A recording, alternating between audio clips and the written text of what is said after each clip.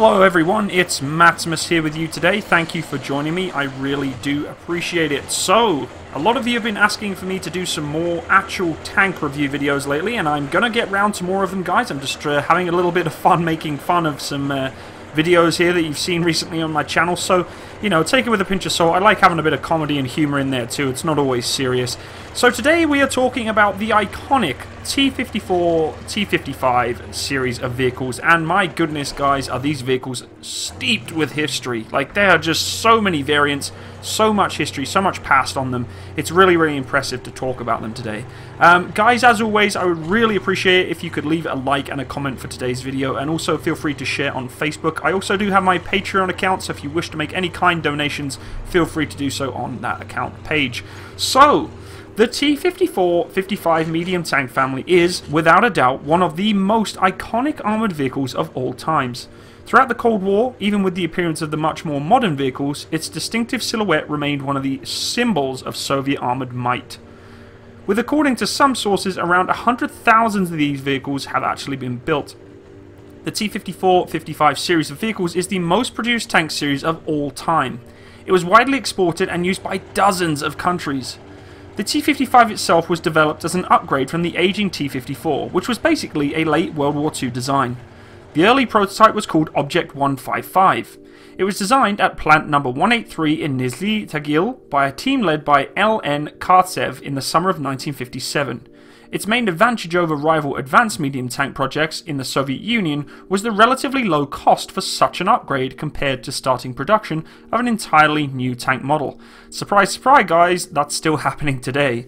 The upgrade was based on the T-54B with several important improvements. Specifically, the amount of shells carried increased from 34 to 43, the 12.7mm anti-aircraft Dushka machine gun was removed, the new improved night vision equipment was installed, Nuclear, biological, and chemical protection on the hull could be pressurized.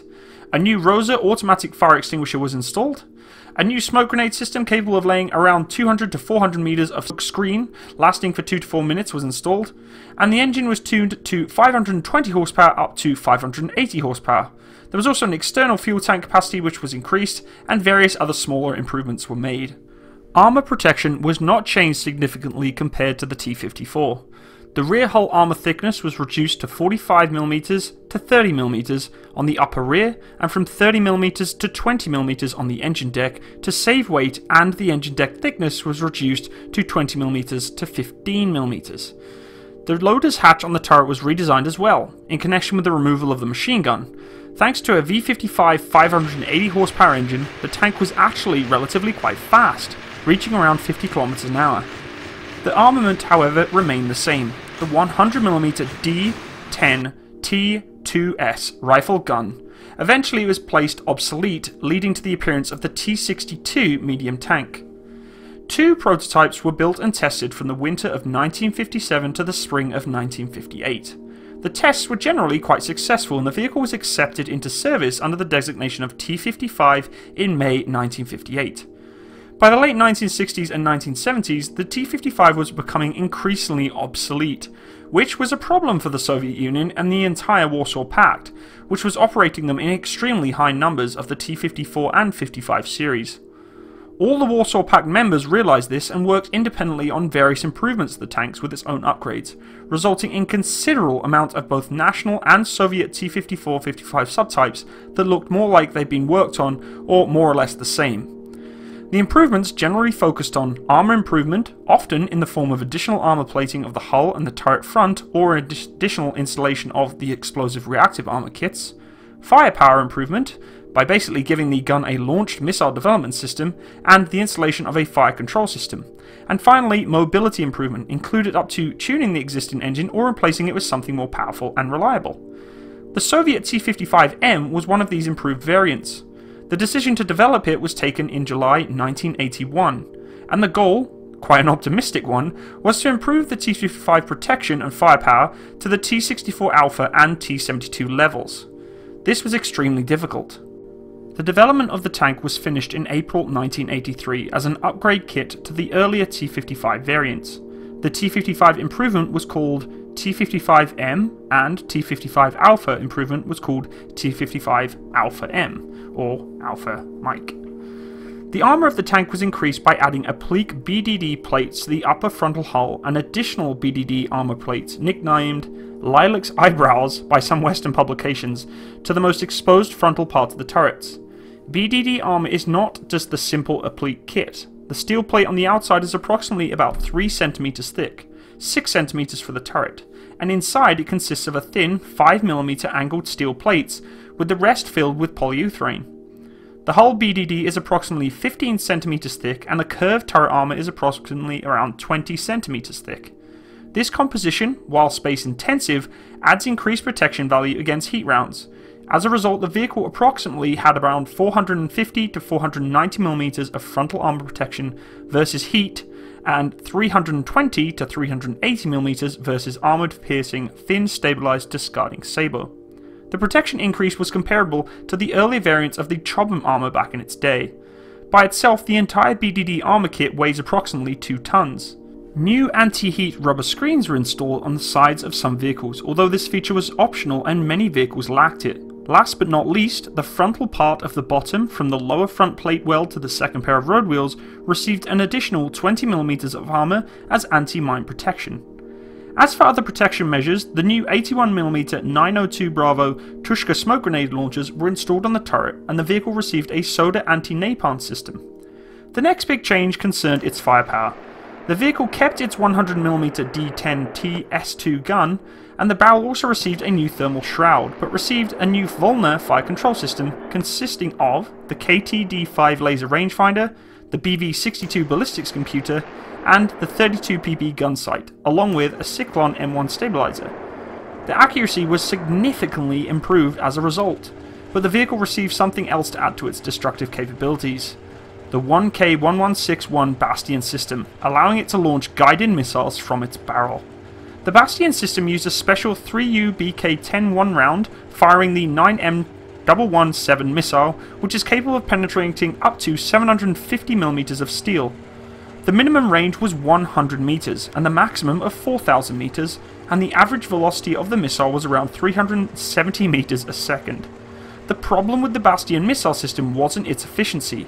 It could destroy practically any contemporary enemy tank at its time, but its price. Two of these missiles were expensive as the entire tank. All these changes were of course extremely heavy. The weight of the vehicle increased from 36 to 40.9 tons. To compensate for this increase, the vehicle was given an upgraded variant of the classic V55 engine called the V55U, with its power increased from 580 horsepower to 620 horsepower. As for the suspension, there were some slight tweaks to it, and the drive sprocket received a welded cover. That prevented the track from slipping from it. The vehicle also received new track links and with different grousers for improved off-road capabilities.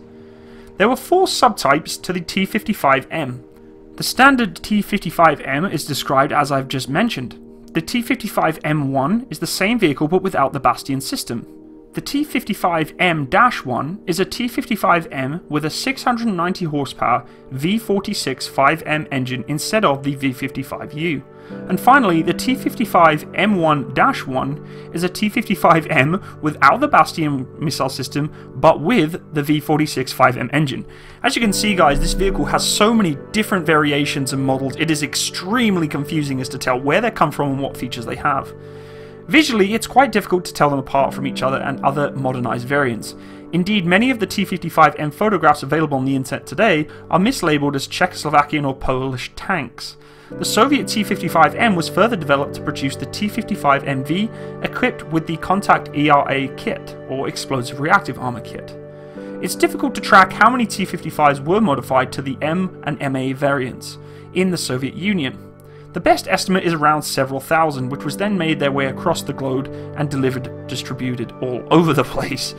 Details about their combat performance are also quite equally sketchy, although some were apparently used in Afghanistan, but I never saw any to be honest other than the ones that were completely annihilated.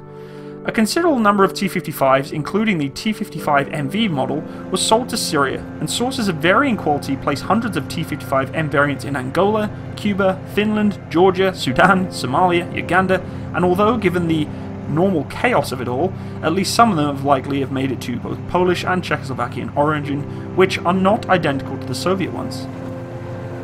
The T-55 was most effective against light to medium armor vehicles. The basic ammunition load for the main gun was 43 rounds. External fuel cells made the tank very vulnerable though, as it does have very thin armor protection on those barrels. The T-55 has limited ability to depress its main gun, hindering the tank as it fires in the defilade from high ground. In addition, the gunner's primary sight is slave to the main gun, which does not allow the gunner to acquire targets in a hull down posture. Although the half egg-shaped turret of the T-55 has good ballistic qualities, it provides extremely cramped working conditions for the crew, resulting in a very slow rate of fire, and the protection afforded by its low silhouette, 1 meter lower than the M60s back in the day, is counterbalanced by its poor armor protection really, which is quite thin by western standards. By the same standards, its gun control equipment was also very crude, it shares the disadvantage of most Soviet tanks back in its day by having the limited ability to depress that main gun and thus not being able to be effectively exposing itself to engage targets. Ammunition and fuel were also stored in quite vulnerable positions within inside the vehicle. The lack of turret baskets also prevented loading difficulties, and there's also limited amounts of ready ammunition in the turret. The driver, commander and gunner are all in line with one another. The T-55 is also not airtight. Although crew members are protected from radioactive dust by the filtration system, they must wear their individual protective masks and clothing to guard against chemical, biological and difficult nerve agents. But at the end of the day, guys, if they were going to use chemical weapons, I think that's something they were considering anyway and weren't too concerned with. The tank normally should be able to pass through contaminated areas rapidly and then be fully decontaminated before it's fully operational again. The tank can be made watertight for fording obstacles up to 1.4 meters deep. However, it may take up to half an hour to an hour to prepare a medium tank unit like this for a snorkeling operation, and the entrance exit points may also need extreme preparation. So guys, there you have it, a tank that is covered in history from head to toe. There are so many variants of this vehicle guys, which is just outstanding. I mean, it's very confusing at the same time. I mean, we got so many different variants from the T55M, MV, MV1, MV-1, T55K, T55 Alpha, AD, AMV, A just the list goes on and on and on. But clearly this vehicle has done its time and is still doing its time to this day. Is that a little concerning? Yes, I would say so, considering it's a vehicle that was designed a long time ago and still being utilised today.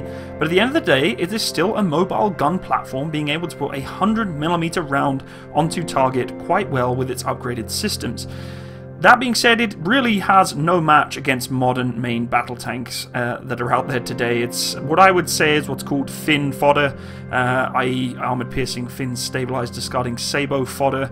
Um, these things just get chewed up like butter, really. Uh, it's a real unfortunate situation for those militaries who can't afford uh, more sophisticated weaponry to kind of rely on these kind of tanks. But it is what it is. You know, some nations don't have the money, the, the facilities, or the resources to be able to host huge, expensive main battle tanks systems, uh, and this is still going to be able to be quite a dependable vehicle depending on the situation being placed into. Tank on tank warfare? Absolutely not. This vehicle would probably get hands down wiped out uh, depending on its variant. If it's an older variant, for sure, uh, against some modern armor. Anti tank guided missiles are for sure going to knock this thing out. Um, so it is a little concerning knowing that these vehicles are still being utilized today. But that's the way the future is now, guys. We need to upgrade and make do with what we have instead of trying to procure all these new tanks. But I think this is a little bit of an uh, overstatement in terms of uh, you know upgrading a vehicle. I really do think this vehicle needs to be phased out of, of most military applications. But it is an iconic tank, and one of which I have a lot of respect for. Uh, if you have seen the film The Beast, um, you should know about this tank quite a bit. And if you haven't seen that film, I would strongly strongly suggest you watch it. It is an absolutely amazing tank film, uh, probably one of the greatest, if not the greatest tank film out there in regards to Russian armor in Afghanistan. Very, very interesting movie. Um, I'm actually not sure if it is a T55, maybe a 62. Pretty sure it's a 55. Um, but go check it out, guys. Fantastic movie. I really think you'll enjoy it. Um, I appreciate you stopping by today, guys. I hope you learned a little bit about the T55-54 series. Um, if you find anything that is incorrect or uh, not as to what the T55-54 series specification should be or any information that I've placed on there incorrectly, I would love it if you could let me know in the comments section. Also guys, if you enjoyed today's video, I'd love it if you could hit that like button, leave me a comment. Um, once again, feel free to share this video around on Facebook and such. If you are new to my channel, please subscribe. Plenty more vehicles coming up in the future. If you have any requests for videos uh, for vehicles that you want me to review or check out, I can do that for you there's a whole long list of vehicles I'm going down the line of, guys, uh, and other videos that people want me to do. So just stand by for that. I'm working really hard to try and get it out to you. Um, I apologize for some of the comedic value videos I've placed out recently, but guys, I, there's so many people upset over them. Like, come on, it's just having a laugh. But I guess some people just have a completely different sense of humor to me, which is completely fine. My content's not always going to be liked, and that's okay. So, guys, once again, thank you for joining me. All the best from both myself and the T55-54 series. All the best. Bye-bye.